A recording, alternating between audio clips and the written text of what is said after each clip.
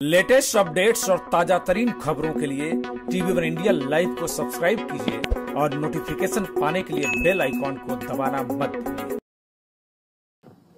केसीआर जी तो केवल अपने महलों में बैठकर नई नई योजनाएँ तैयार करते हैं और उनके सारे साथी मिलकर उन योजनाओं से कैसे भ्रष्टाचार किया जाए, कैसे पैसा लूटा जाए कैसे तेलंगाना का सारा पैसा उनकी तिजोरी में जाए उनके घर में जाए इसी का प्रयास करते हैं ముఖ్యమంత్రి గారు ఫామ్ హౌస్ లో కూర్చుంటారు ఫామ్ హౌస్ లో కూర్చొని పథకాలను రచించి ఆ పథకాల ద్వారా ఏ విధంగా దోపిడీ చేయాలని ఆలోచించి ఈ రాష్ట్రాన్ని దోపిడీ చేస్తుంటారు अभी आप लोगों ने समस्याएं बताई किस प्रकार से सब्सिडी बंद हो गई किस प्रकार से नया पोर्टल तैयार हुआ तो हमारे सारे जो रिकॉर्ड है, वो गायब हो गए और किसानों को कोई फ़ायदा नहीं मिल रहा। किस प्रकार से ऋण माफ़ी की घोषणा की गई थी, कर्ज माफ़ी की घोषणा की गई थी, लेकिन किसी को माफ़ी नहीं मिली। किस प्रकार से डबल बेडरूम का घर आप सभी को देने की बात कही गई थी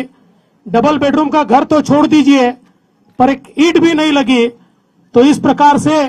केवल और केवल आप सबके साथ धोखा हुआ ముఖ్యమంత్రి గారు అనేక సబ్సిడీలను ఆపేశారు కొత్త ధరణి సిస్టమ్ ను తీసుకొచ్చి దాన్ని కూడా సరిగా ఇంప్లిమెంట్ చేయడం లేదు రుణమాఫీని అమలు చేయడం లేదు అని చెప్తున్నారు अब इसके ऊपर अगर सच में एक लोकतांत्रिक सरकार, एक जनता की सरकार, एक रैतू की सरकार हमको लानी है तो तेलंगाना में परिवर्तन करना होगा और उसी परिवर्तन की यात्रा को लेकर बंडी संजय जी निकले हैं। आपका आशीर्वाद मांगने के लिए निकले हैं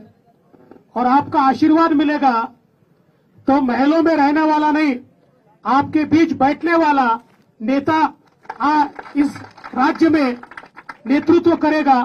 और निश्चित रूप से आपका भी भाग्य बदलेगा और तेलंगाना का भी भाग्य बदलेगा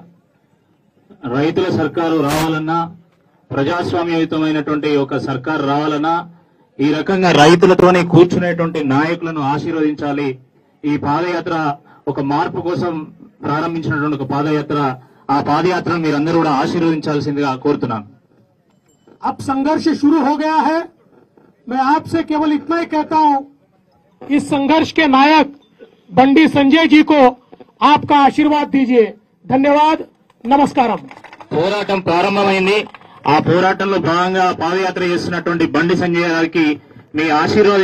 ఆశీర్వాదాలు అందించాల్సిందిగా కోరుతున్నాను ధన్యవాదాలు